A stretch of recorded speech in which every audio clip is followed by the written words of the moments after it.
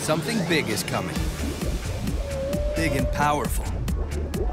Big and beautiful. Introducing the Fiat 500L.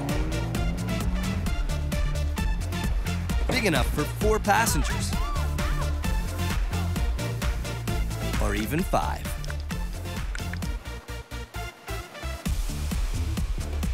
The four-door Fiat 500L.